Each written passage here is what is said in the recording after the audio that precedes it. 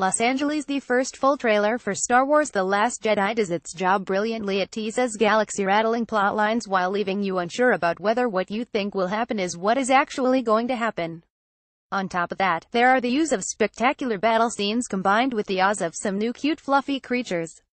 We also see Carrie Fisher in some of her final shots as General Leia, filmed before her death last Christmas. Above all, it raises some big questions about what might unfold in the Star Wars universe.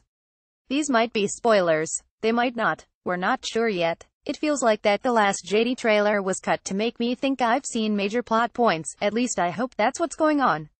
Will Rey go to the dark side when I found you? I saw raw, untamed power. And beyond that, something truly special.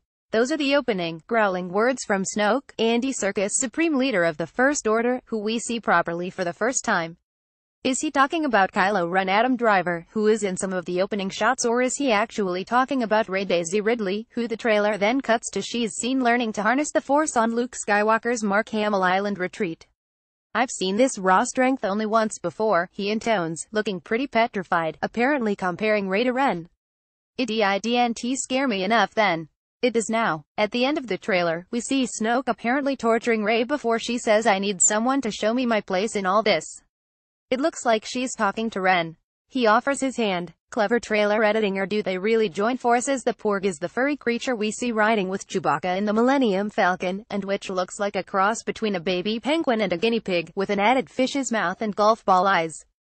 It squawks in fear at something. Perhaps if you were used to a life of crashing waves being chased through space by TIE fighters would do that to you. The Porg will undoubtedly be this year's must-have fluffy toy. Or if they don't take your fancy, there are always the pointy-eared white ice fox things that are seen later. This news was published in the Nation newspaper. Read complete newspaper of 11 October 2017 here. Tweet.